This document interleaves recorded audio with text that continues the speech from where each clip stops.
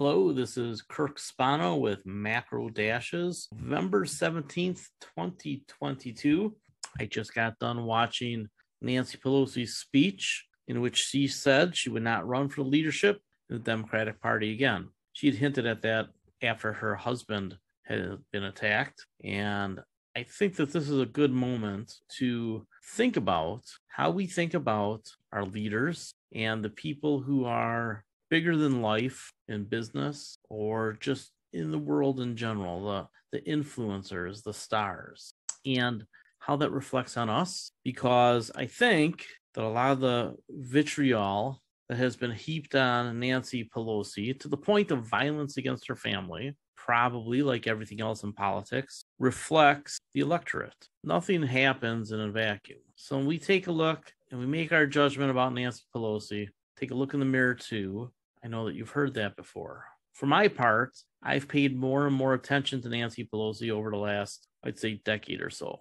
For the majority of her career, she was in the minority in the House. I don't think people realize that Republicans controlled the House uh, most of the time the last 22 years. I believe it's 14 years Republican, eight years Democrat.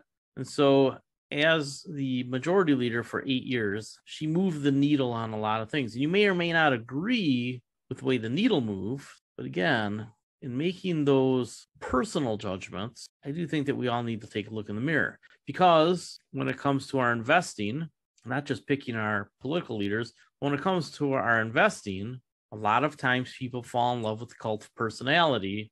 I think it's appropriate that just below this announcement from Pelosi, is another person that's in the news today. Somebody who was larger than life, who got a lot of kudos, a lot of hip hip hoorays. And it turns out he's probably a crook and he's probably going to jail. In this interview, Sam Bankman Fried, I know it's freed, but I like saying fried, tries to explain himself. If you read nothing else, or if you're just going to start reading about what really is happening with FTX and the aftermath, read this Vox article not Fox, Vox with a V. Very rare, I tell you, to read a Fox article. And some of the things that he says are so arrogant. Remember, I I, I promise not to say certain words anymore. But so uckfeigning arrogant and devoid of a circumspect view of the world, just so full of himself that it kind of blew my mind. So last spring, when he was buying up companies, you'll remember me saying I'm not so sure what's going on here. It seems like a lot of money is coming out of nowhere to buy assets. I mean, it just didn't make sense to me how when the stable coins were collapsing and various crypto businesses were going under, where he was coming up with the money to buy them. It turns out that he created a token in his own business, backed by the business, really backed by the goodwill and the future of the business, to borrow more money. So he borrowed a ton of money on hopium. I've heard me use that term before on hopium that this company would somehow cajole regulators into treating him differently. Read this article, it will blow you away. The things that he actually said. I think some of the things he said in here are going to send him to jail. And he probably should be in jail because of the roughly $8 billion or so that's missing, 4.1 billion of it was lent to a handful of insiders, including a billion to Freed. And he blames us all on sloppy accounting. Well, I'll tell you what. If I had won that lottery the other day for a billion dollars, I'd have found a way to keep track of it. If you look at this guy and you don't think that motherfucker, oh dang, I said it, should be in prison and not minimum security. I mean, he's got to get at least get medium security where he can't, you know, watch the TV shows he wants to watch. But I don't know who goes to jail. He's a crook. He facilitated crooks. He conned other crooks, which is kind of interesting. And he wrapped it all up in I'm going to try to do things that are good for the world it's just so convoluted. It's off the charts to me. This idea that, well, I can break the rules because there's a good end, right? I'm using the money for good ends. Well, I think we should have seen enough times over history that people who play outside the rules usually are in it for themselves way more than they are for anybody else. There are very few true Robin Hoods out there. And if you know the story of Robin Hood, then you know even he wasn't exempt. This guy should go to jail. Anybody who defends him who says you really shouldn't go to jail because it's just business breakdowns, then you are tacitly agreeing to be stolen from and robbed from. May God have mercy on your portfolio and wallet. Now, let's pivot to an article that I put out today, and I've I've updated it a couple times. It's a fast moving story, and I actually thought it made sense to include something about my view. So my background on crypto, my view of crypto, and I, I think it's important that you understand this because cryptocurrencies have a lot of hype and a lot of bad information, a lot of lying, a lot of stealing, a lot of money laundering, just generally a lot of bullshit. I think I've been clear enough on that over the last several years, really. I first learned of Bitcoin in 2012. I even remember where I was sitting. I first bought Bitcoin in 2016 because I had $10,000 burning a hole in my pocket. And I was able to buy basically exactly 10 Bitcoins. I sold nine of them in 2017 when a kid at a Christmas party told me that I was wrong to tell him not to buy Bitcoin a few weeks earlier. He bought it anyway. He was up 40%. I literally sold nine of my 10 Bitcoin the next day.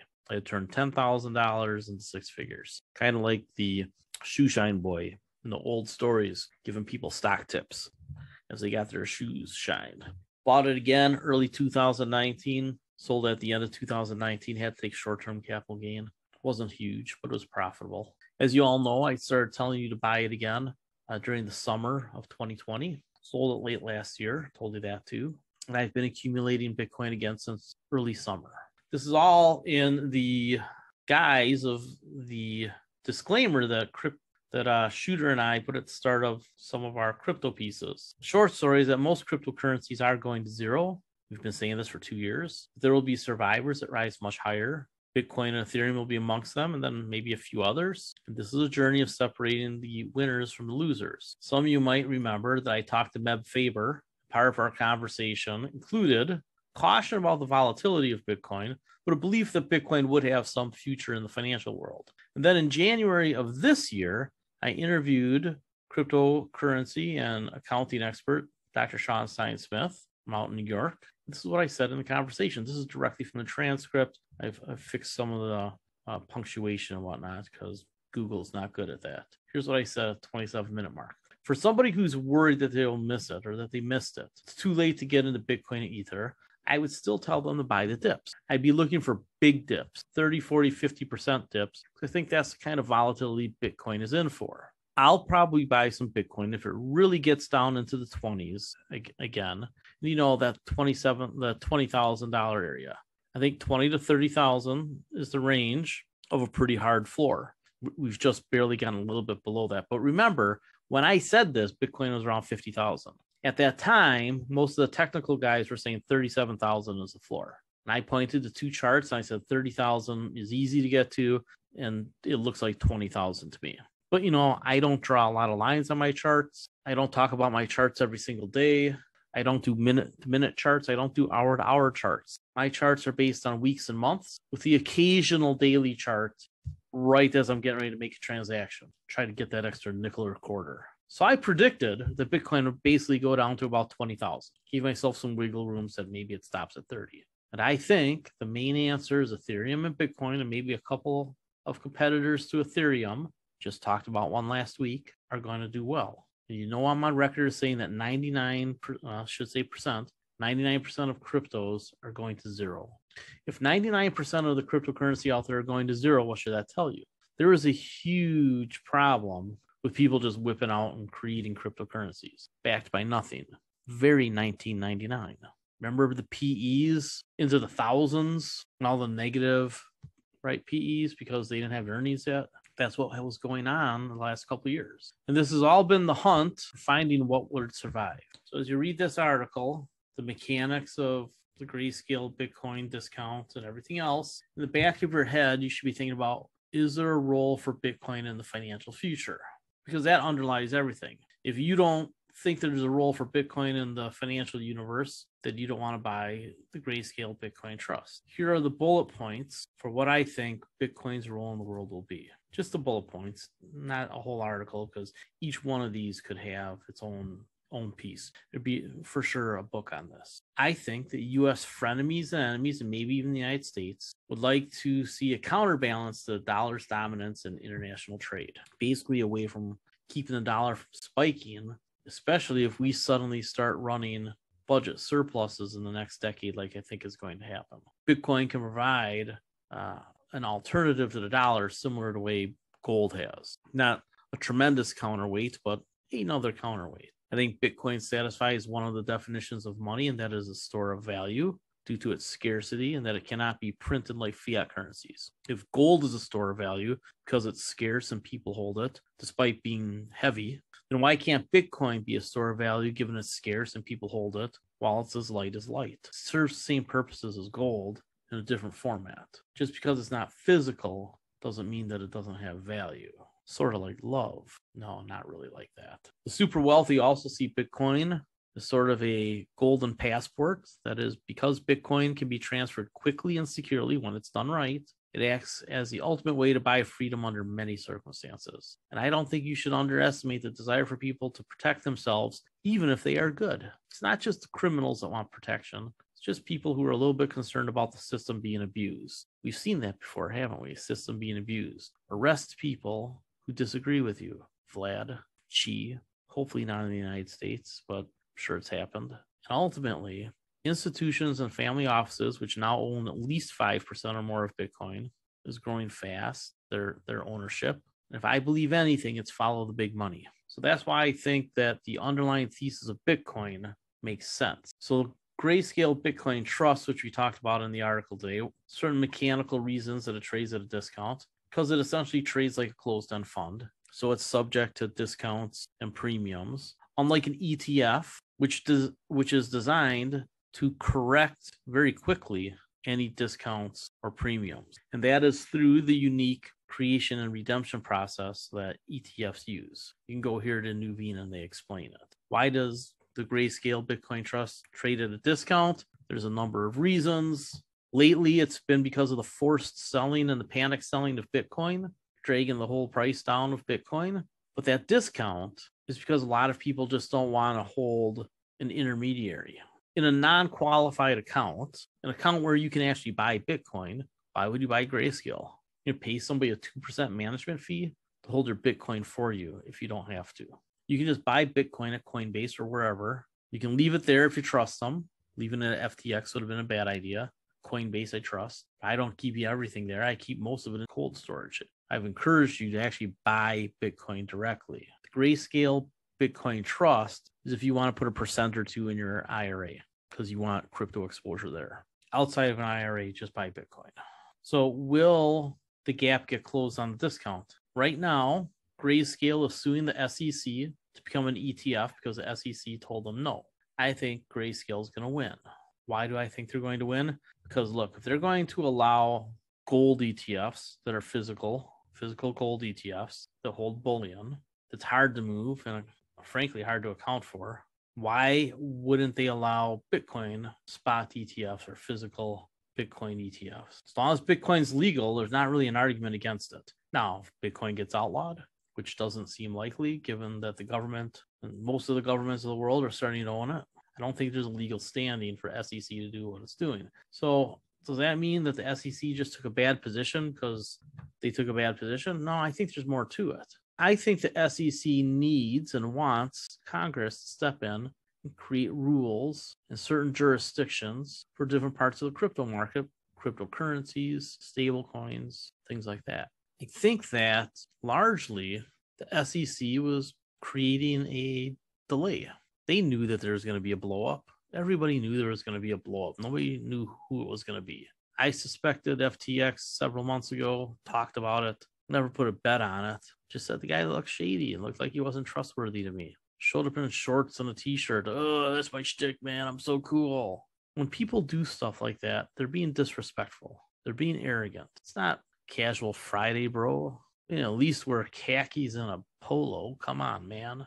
I do that when I go downtown. I wear something different than I wear in my in my in my spare room. You know, I wear a lot of Adidas wears in my spare room, but I go downtown. You know, I wear some slacks and, and a polo, or sometimes I wear a button down. I even put a tie on once in a while. Still, show of respect. And Fry Guy, right? So disrespectful that you know I'm too cool, man. I'm a billionaire. I made it up, but you'll never find out. Oops, found out. I think the SEC wants regulation, and I think the collapse of FTX is going to bring it on. There is a big risk for grayscale out there. And I say big because we don't know what's behind the next door. And this is why you would wait a while to buy GBTC because you have time before the ETF news comes out. Make sure that Grayscale survives. It looks like they will, but there is some common ownership through a parent company. They have a sister company, brother company, whatever you want to call it, a company on the platform of Digital Currency Group, which owns a ton of companies, with a company called Genesis, which the Winklevoss twins are involved with, the guys who Zuckerberg stole Facebook from. So, I mean, it's not like they're buddies, you know, they're not, I mean, they're next to each other in the alphabet, but it looks like they don't do business together. But Genesis is on the hook for 175 million dollars of FTX, and it looks like they got bailed out today. It's like it's giving them 140 million. So you just got to make sure that that's not imaginary digital currency group money. It's going to end up going the way of FTX. I'd love to see Grayscale just get spun off all the way, completely separate it. Now, if there's a contagion, what you're worried about is that FTX brings down Genesis, and that brings down the entirety of Digital Currency Group. I don't think FTX was that integrated into the full system of cryptocurrency to create that type of contagion. The numbers just don't add up to that. And FTX was the third biggest, basically the same size as Coinbase. And whereas Coinbase isn't really levered up in any meaningful way, FTX was apparently levered up quite a bit. And to me, they laundered money to those executives, $4 billion worth, which is around half of what they say they're short. So as Fry Guy runs around saying, Well, I, I shouldn't have declared bankruptcy. I, I regret it now. And I just want to raise the eight, mil, $8 billion and pay everybody back. Well, how about starting with the billion that they gave you as a loan? Why don't you pay that back? Maybe sell off your Robinhood holdings that you're holding separately. You fucking punk. You know, Charlie Munger is saying the same thing. He's a punk. There's other punks in the world right now, too. Anyway, Bitcoin's role in the world. Here's who should buy Grayscale Bitcoin Trust, and maybe not right this minute. If you believe that Bitcoin has a role in the financial world, that Grayscale is not at some risk of contagion from FTX, and if the Grayscale Bitcoin Trust eventually becomes an ETF, which will cause the NAV uh, discount to disappear because that's how it works, then I think this is something you can put a couple percent of into your IRA if you want Bitcoin exposure in your IRA. You don't want to put a lot in your IRA. I know people who have like their whole IRA in Bitcoin in this fund, actually. Well, that's just stupid. That's I've told you what this type of an asset is about a hundred times. I'll tell you again. It is not a stock. It is digital gold. Would you ever put 100% of your money into gold? No. So don't put a lot of money into this either. This is good for a few percent if you have this type of aggressive investment in the first place. If you're retired and you have an IRA that you draw income from, you probably don't want this. If you have a Roth IRA that you intend to pass on when you die, tax free, maybe a couple percent in here because that should be a growthy account. So you have to know what your risk tolerance is. You have to have the right financial structure right types of accounts, and the right goals to buy this. If you check all those boxes, and if Grayscale doesn't go down because of FTX in the next few weeks, then you should probably buy this because the SEC has briefs going in the ETF trial in the next couple of weeks, due December 9th. Grayscale will respond. Final briefs are in February. And at that point, the negotiating will get hot and heavy. By then, I would expect that Congress has announced hearings on how to do regulations. So taking the things that they've accomplished in the last couple of years and fast tracking it, say, look, we okay, who's going to regulate what?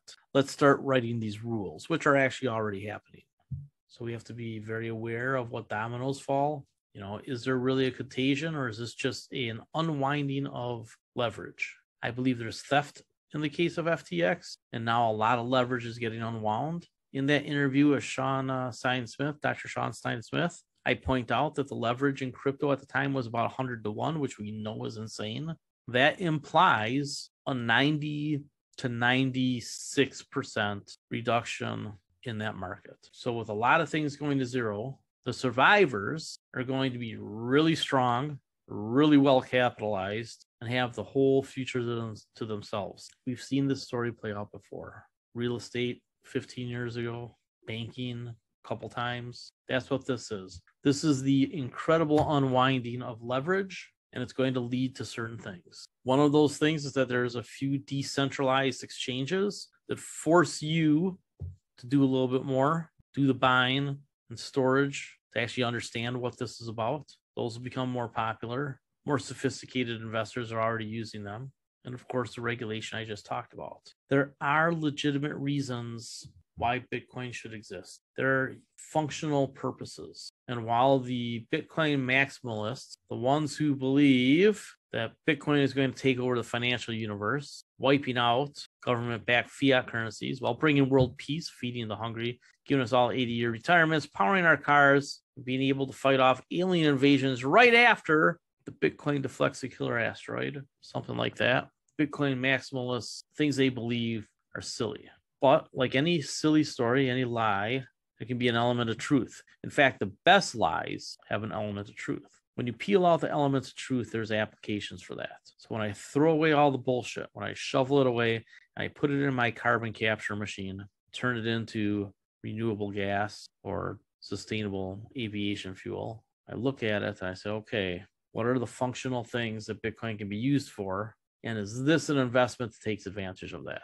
And the answer is yes, under the right circumstances for the right people with the right accounts, the right time frames. I had to tell somebody, I mean, I have telling one guy, stop trading.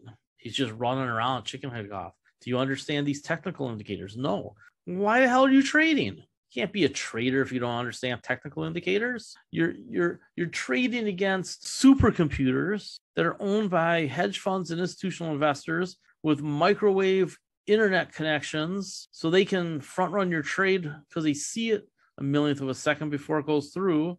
And you're dealing with proprietary traders and retired traders on from the floor of the exchanges who now just manage their own money because they made so much of it. Then you have a small group of experienced day traders that are good at it. Then you have all the people who want to get rich quick, who just run back and forth. And we know from tax records, 80% of them lose. You're not looking for a trade here, folks. You're looking for ownership. Ownership comes from the things on the screen right now. Do you believe these things? Can you find a way to understand it? Do you have the time? If you do, which is why you're in an investment letter, figure it out. Be greedy when everybody else is fearful. Something in here is screaming that. If Bitcoin stays legal, and I mean, nobody even talks about making it illegal anymore. The government is basically behind it. They, they want Bitcoin to exist. I think for this reason. I don't think we want the dollar to be so strong that it crushes the global economy. Bitcoin's just another thing that nicks away at the dollar, which, as I've explained, and I predicted it way ahead of time in 2012. And then when Joe Biden got elected, I told you how strong the dollar was going to be. First, I told you long term bull market. And then I told you when Biden was elected, that marked the bottom for the dollar for a long time that it was going to go much higher. And it has. And that's a hard message for me to get through to people because all they hear is, whoa, dollar crash. The dollar's going to crash. Fiat currency, dollar crash, dollar crash, dollar crash. It's bullshit, folks. The United States is a great country. We don't need to be made great again. We are the dominant economic, military, diplomatic power on the planet, and nobody is close. China is like a little brother kicking our ankles. Russia is smaller than that. Little Vladdy's gonna get stepped on soon. So when we take a look at some of these funds, this is what was in DApp, which we own a little bit of about a month ago. This is what's in it today. Notice the two stocks at the top of the list. Are these not the two stocks that I told you were the best ones? They've climbed to the top of the list for holdings based on the factor based model here combination of value and momentum and growth. MicroStrategy just holds a ton of Bitcoin. Marathon Digital, we traded profitably. Silvergate, I told you a long time ago, is an interesting company. I didn't quite understand the model. It turns out that they've been laundering money for bad guys. They're going to get in trouble for it. But they basically are a bank for crypto that once they're regulated, and I don't know what that implies for their valuation, probably going to be a big deal. So unless the government says you're so bad that we have to crush you, Silvergate's interesting here. There's some big investors buying it, and there's a lot of people shorting it. This is a battleground stock, no doubt about it. That's one to watch. It's only 4% of the fund. If you go over here to ARKW, this one owns some of the Grayscale Bitcoin Trust. The reason I did not recommend ARKW is because I can own the Grayscale Bitcoin Trust directly if I want in my IRA. And in my non qualified accounts, I just buy Bitcoin. then store it properly. This is the one that I like, either to replace DAP, or I guess if you don't have a ton of DAP and you want to hold hold the DAP you have, then add another fund. This one, it's a, a broader based fintech fund, right? Shopify, which is down whatever it's down, 80% or something. They're a big deal in digital commerce. Then Block and Coinbase are right there. Still get some real nice exposure. Mercado Libre, emerging markets, right? E-commerce, global uh, emerging markets, really beat up right now. Twilio. I'm not a huge fan of Robinhood, uh, but I do think it's a takeover target. DraftKings. Well, we we had a little experience with the guy that's involved there, right? You guys remember that the Golden Nugget deal that fell through? So, in any case, I think the combination of ARKF and DAP and GBTC and individual Bitcoin and Ethereum holdings, I think some large single digit percentage for aggressive investors is appropriate. You know, maybe go up to 10 to 12% if you're really aggressive. Combination of all these things together. Because blockchain is forever, as far as we're concerned. Digital contracts are coming. Bitcoin is the alternative store of value that we've been looking for. There's nothing else even close. I mean, it's either Bitcoin or nothing. There's not going to be a different Bitcoin. There's nothing else out there. If Bitcoin doesn't survive, then there won't be cryptocurrencies that are mm-hmm. stores of value. I don't think. Could be wrong about that, but it's just hard to imagine somebody saying we're the better Bitcoin. Bitcoin has developed its Lightning Network and it's developed everything else that needs to develop. That were shortcomings. It's going to end up being the thing. And, and the thing you got to realize about Bitcoin, I've never said it would be a replacement for the dollar. You're never going to buy your pizza with it. Read that article. There's a link for that phrase. I keep saying that because there's a story behind it. Bitcoin is never going to be something that you shop with unless you're buying the entire pizza chain. And then maybe somebody will say, give me some Bitcoin in the deal. Right? Aaron Rodgers said to the Packers, I want a percentage of my income in Bitcoin. Not looking like a great idea right now. I'd imagine he's it's a week to week thing. You know, he gets paid whatever he gets paid two million dollars a week to not make the playoffs. So that's in Bitcoin. So some of it's at a low price because he dollar cost averaged in, like I've been telling you to do for six months, five, six months, dollar cost average in.